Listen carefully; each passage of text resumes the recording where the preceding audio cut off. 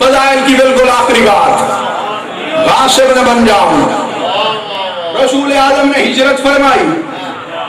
रात के वक्त कुफार ने कहा, हमें पता चल जाता। हम इंतकाम लेते, लड़ाई करते, रसूल को कत्ल करते। पता ही नहीं चला। यही खबर रसूल आज़म की खिदमत आलिया में पहुँची मदीने में। मोहम्मद मुस्तफ़ा ने सुबह की नमाज़ पढ़ने के बाद नूरानी कलम लिया, नूरानी किरताश के सीने पे नूरानी तहरीर फरमाई।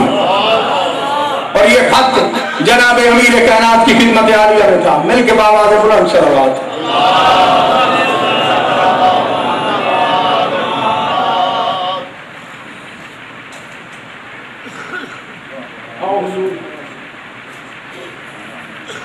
पाँच सात मिनट भी बर्दाश्त करो। औखे ते भावे सौखे। समझ आ गई बेगार मुख्तसर करें लबिया नूरानी कलम, नूरानी कागज़, नूरानी तहरीर। में नूर इला नूर। नूर की तरफ़ से, नूर की तरफ़ ये खत जा रहा है। जो बंदे तारीख सुनते हो तो जैद नामी कासिद को ये खत दिया। इबारत ये थी यारी एक तो दिन दहाड़े हिजरत करनी है। दूसरी तीन, फातिमा नामी बीवियों को साथ लेके आना है। ताकि जो कुछ कुफार ने करना है, वो करके दिखाएँ। काशिद से फरमाया, रात को सफ़र करना, दिन को आराम करना। ये खत अमीर कैनात के अलावा किसी को देना नहीं। वो पहुँचा मक्के में दक्कुल बात किया अमीर मोमिनीन सुबह की नमाज़ के बाद ताकीबात में मसरूफ थे। जनाब अमीर मोमिनीन, बाहर आए। अली, बाहर नहीं आए, अल्लाह की तकदीर बाहर आई।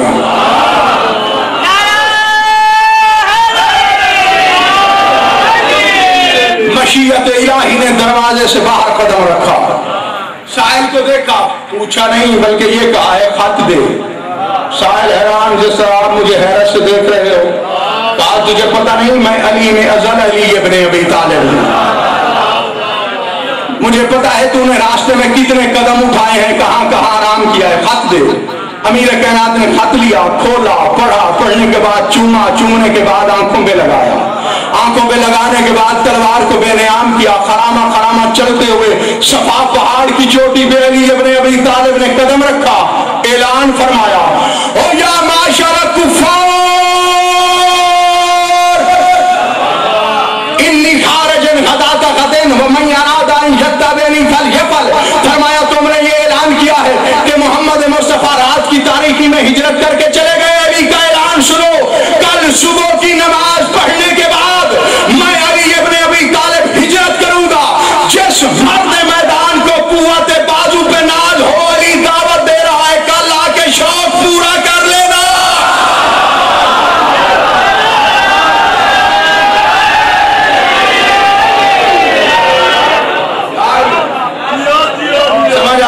आ रही बात एक आदमी मैं पढ़ रहा हूँ, मेरी आवाज़ आपकी दाद से कहीं ज़्यादा है अली ने ऐलान किया, अकेले अली ने।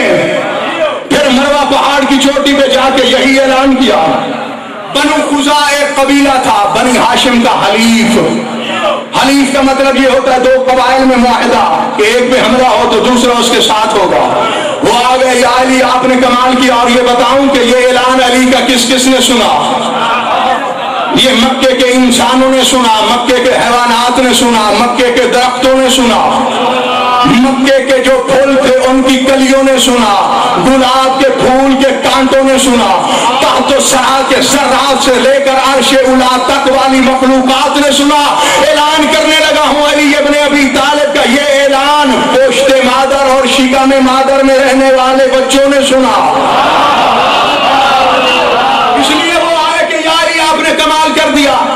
आप अकेले हैं। फरमाया, वापस चले जाओ। जानते नहीं हो, कैनात आलम का मुश्किल कुशा, अली अपने अभी तालिब मैं हूँ। मैं आदम का मुश्किल कुशा हूँ। मैं मोहम्मद मुस्तफ़ा का भी मुश्किल कुशा हूँ। वापस चले जाओ। अब अली अपने अभी तालिब ने फदार खत्म कर रहा हूँ। तीन फातिमा नामी बीवियों को साथ लिया। जनाब फातिमा बिनते मोहम्मद, जनाब सैयदा। फातिमा बिनते असद, अली बादशाह की वालदा गिरामी। जनाब फातिमा बिन जुबैर बिन अब्दुल मुतलिब ज़िम्मेदारी से कह रहा हूँ इन बीवियों को साथ लिया और उसके बाद चल पड़े। मक्के के बाहर एक वादी में पहुँचे। वहाँ एक चरवाहा खड़ा था। अली ने कहा, अब तो खुदा, मेरे हुलिये के बारे में कोई लश्कर आके पूछे घबराना नहीं बल्कि कहना है वो जवान तुम्हारे इंतज़ार में जा रहा है इंतज़ार में आओ आओ आओ मेरा सोना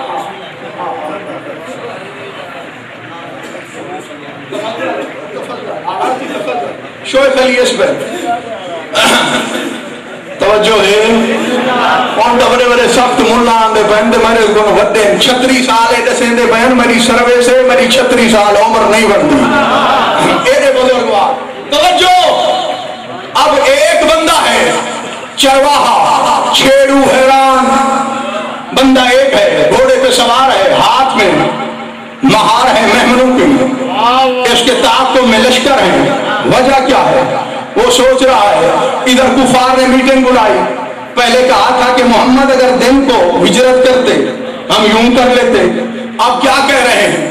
काश अली भी मोहम्मद की तरह रात को चले जाते। हम बढ़ के मारने जोगे तो रह जाते। अली हमारी नाक काट के जा रहे हैं। कुछ करो। कोई कहता है, अली का घोड़ा इतना तेज रफ्तार है आने वाहिद में से पहुँच जाएगा? तो जो बंदा यहाँ है, उसके लिए कह रहा हूँ। और फजाइल की आखिरी बात नतीजा देने लगा हूँ। एक पहलवान था, हंसला। हाकिम शाम का बड़ा भाई, अबू सुफियान का बड़ा बेटा। बहुत पहलवान था।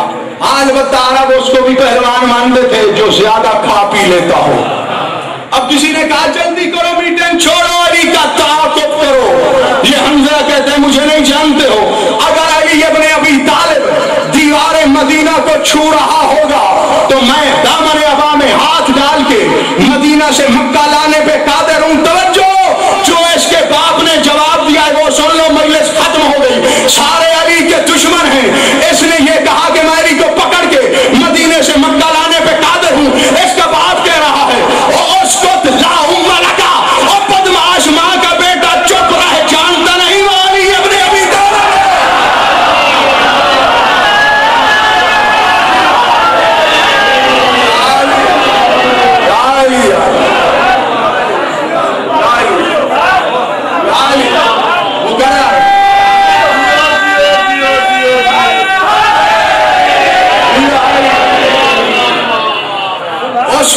लाओ वो बदमाश माँ का बेटा चुप रहे जानता नहीं, वो अली अपने अभी तालिब है।